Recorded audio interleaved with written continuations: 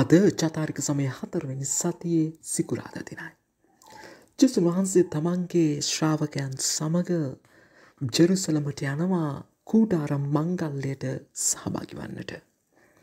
තමන්ගේ ශ්‍රාවකයන් ඒ උත්සවයට සහභාගි වෙන අවස්ථාවේදී ජෙසුන් වහන්සේ ජනතාව අතර සැරිසරනවා.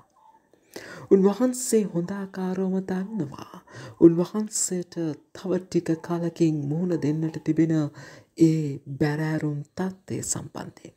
උන්වහන්සේ මේ යන්නේ තමන්ගේ අවසාන වූ කර්තව්‍ය ඉෂ්ට කරන්නට කියනදේ ජෙසුන් වහන්සේ දන්නවා.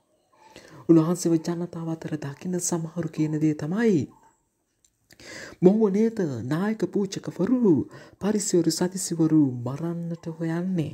නමුත් ඔහු බොහෝම නිදහස්ව ජනතාව අතර බයක් නැතිව සැරිසරනවා.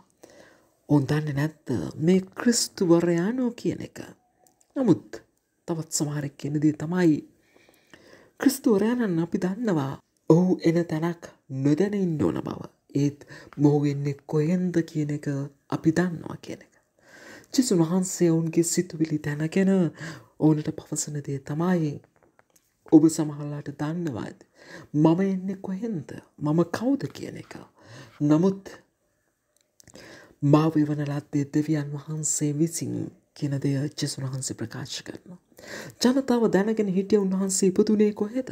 උන්වහන්සේ ජීවත් වුණේ කොහෙද? උන්වහන්සේගේ දෙමව්පියන් කවුද කියන එක දැනගෙන හිටියට ඔවුන් දැනගෙන හිටියේ නෑ නේද? උන්වහන්සේ පැමිණියේ දෙවියන් වහන්සේ වෙතින් කියන එක. උන්වහන්සේව එව්වේ දෙවියන් වහන්සේ කියන එක ඔවුන් දැනුවත්ව නෑ. ඔවුන් ඇස් දෙකෙන් දකින කනෙන් අහන දේ විතරක් විශ්වාස කලාට ඊට එහාට විහිදිච්ච ඒ විශ්වාසය යථාර්ථය ග්‍රහණය කරගත්ත නෑ.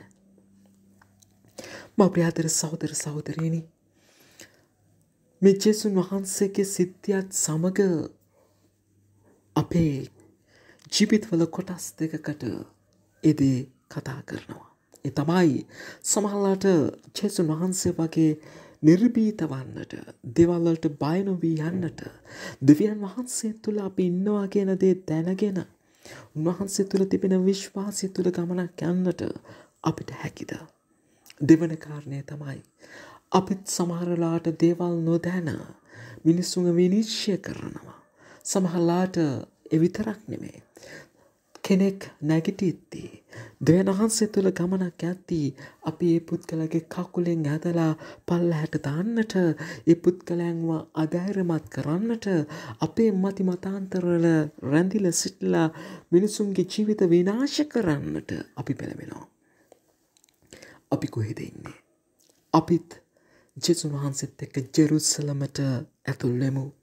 ඒ ජෙරුසලමේ දෙවියන් වහන්සේට පිදෙන තැන වනාට හිත්වල තිබෙන කුවකකම් ජීවිතවල තියෙන මුරන්ටුකම් අතහරින්නට අද අපි වෙරදරමු.